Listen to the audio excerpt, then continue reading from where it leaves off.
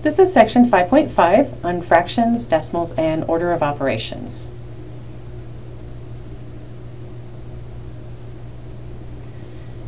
Now first we're going to talk about writing fractions as decimals. And to write a fraction as a decimal, we simply have to divide the numerator by the denominator. Here's an example. If we want to write 3 fourths as a decimal, we just divide the 3 by the 4, and that would give us 75 hundredths.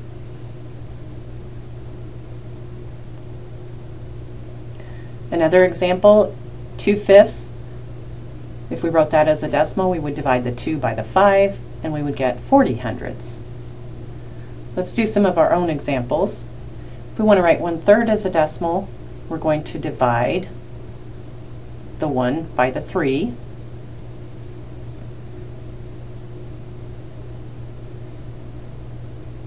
So now, since we have two whole numbers, we're going to have to put in a decimal point and some zeros so that we can take this out past the decimal point.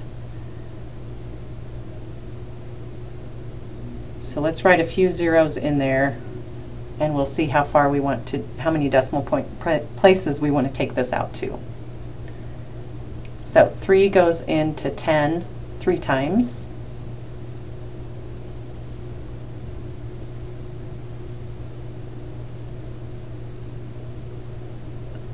Then 3 times 3 is 9. If we subtract,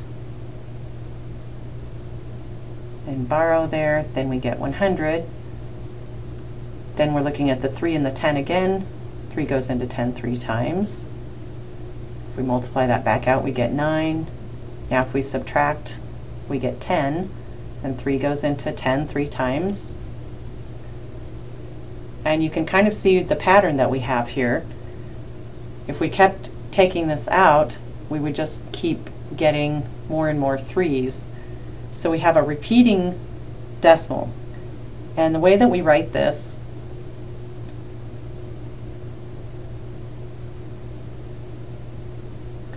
is just with a bar over the part that repeats.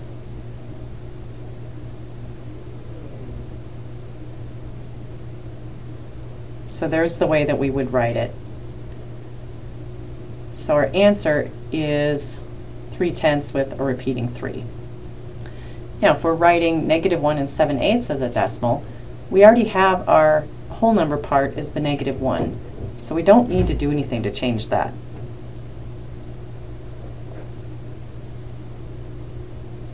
So part of our answer will be negative 1.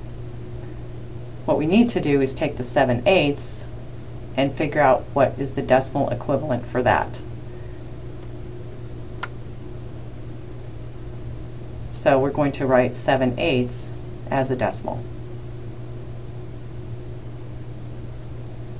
That means that we're dividing 7 by 8.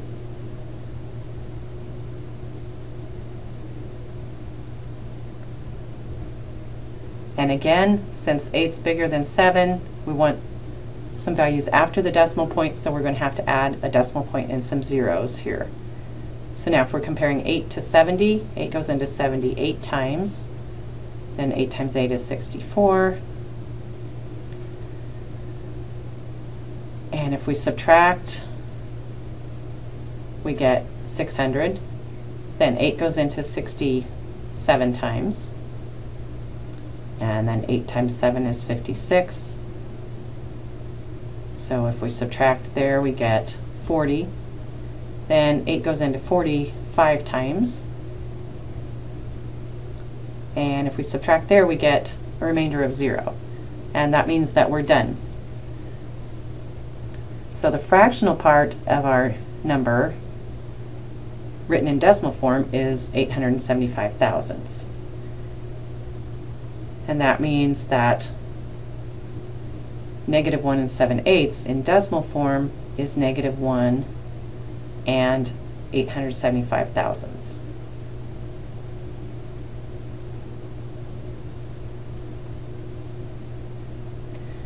Now if we want to compare fractions and decimals, that's hard to do unless we write the fraction as an equivalent decimal. For example, if we wanted to compare 125 thousandths and 1 fourth, we would need to write the 1 fourth in decimal form. If we did that, if we divided the 1 by the 4, we would get 25 hundredths. Now we can compare the 25 hundredths and the 125 thousandths. Notice that the 2 is bigger than the 1 in that first digit, so that means the 25 hundredths is greater than the 125 thousandths. So 125 thousandths is less than 25 hundredths. Here's an example. We're going to write these three numbers in order from smallest to largest. Now to do that, we're going to have to convert our 15 sevenths to a decimal form so that we can compare it to the other two.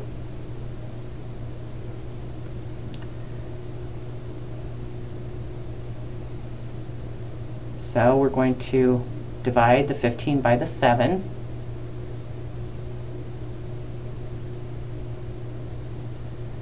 Seven goes into 15 twice. And if we multiply that back out, we get 14. If we subtract, we get 1. Now, to compare it to these two, we're going to have to take this out to at least the hundredths place, and maybe even to the thousandths place or farther than that. So we're going to carry this out a couple more places. So now we're looking at how many times 7 goes into 10. Well, it goes in there once. Then if we subtract there, we get 3. So now to take it out to another place, we're putting a 0 there, so 7 goes into 30 four times. If we multiply that out, we get 28, and if we subtract, we get 2. Now we add a zero to take it out to another place.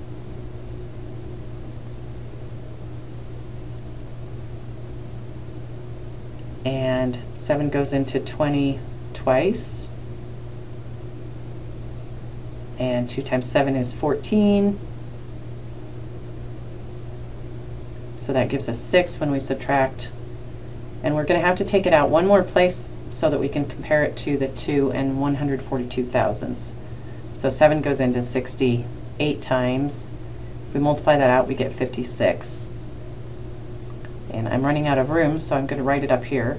60 minus 56 is 4. Okay, well now we at least we've got enough places that we can tell which one of those two numbers is the larger one.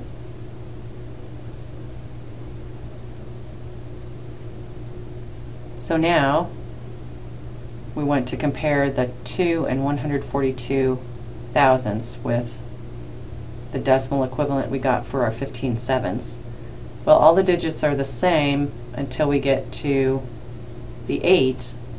Remember, we can write a 0 there. 8's bigger than 0, so that means that that's the greater of the two numbers.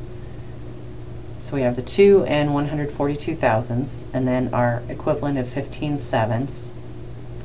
And then if we compare this one with the 2 and 15 hundredths, the 2 and 15 hundredths is going to be larger.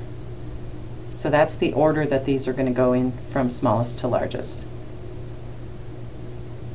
So the first one is the 2 and 142 thousandths, then the 15 sevenths, and then the 2 and 15 hundredths.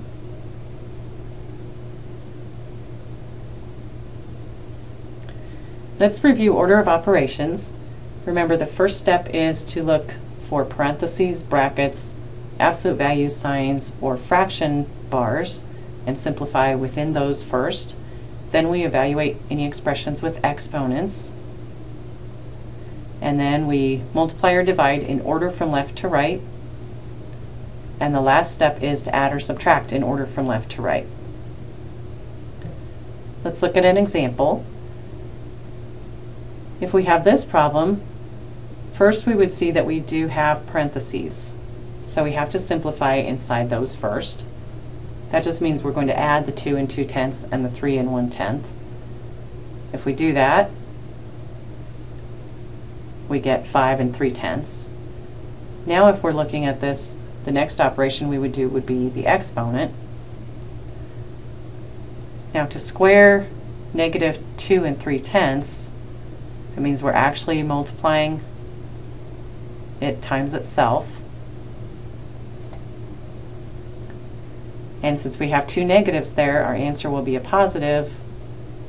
And if we multiply 2 and 3 tenths times 2 and 3 tenths, we would get 5 and 29 hundredths.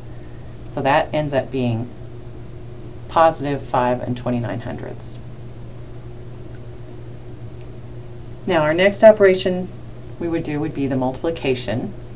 So we'd multiply the 4 and 1 tenth times the 5 and 3 tenths. That gives us 21 and 73 hundredths.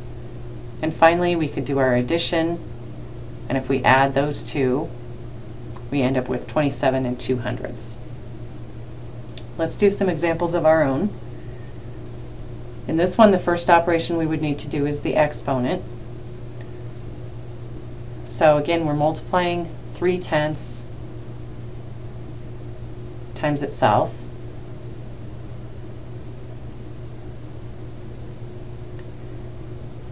And there, really all we have to do is multiply 3 times 3, which gives us 9.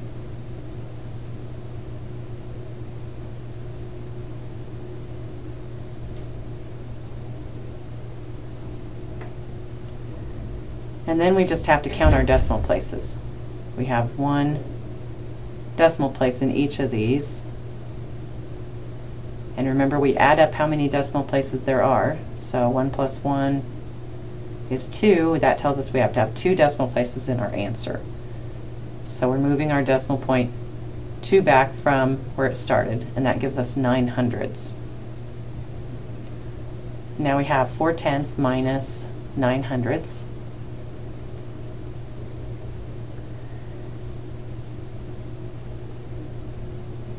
So our next, and actually our last operation is to do that subtraction.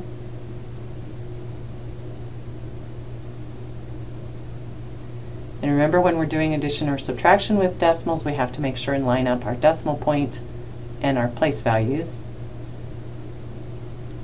And I added a zero to the 4 tenths so that we can borrow. So if we do that, we end up with 31 hundredths. Now one more example. In this one, since we do have a fraction bar, we are going to have to simplify. And the only place we're going to have to simplify here is the numerator since the denominator already only has one value there. And in the numerator the first operation that we would do is the multiplication.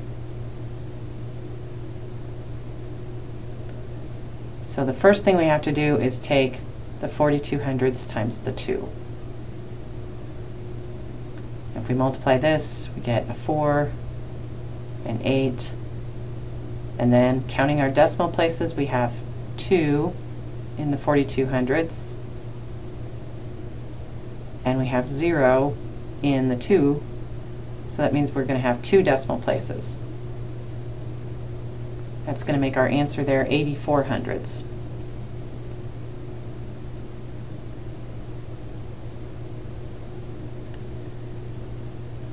So now we're still simplifying in our numerator. Now we have to do the addition. We're adding 4 and 84 hundredths.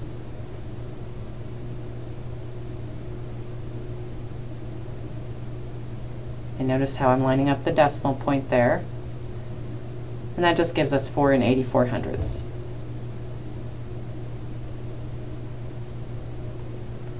Now that we've got our numerator all simplified, now we can actually do the division. So we're going to divide the 4 and 84 hundredths by negative 2. And since we have one positive and one negative, we know that our quotient will be a negative number.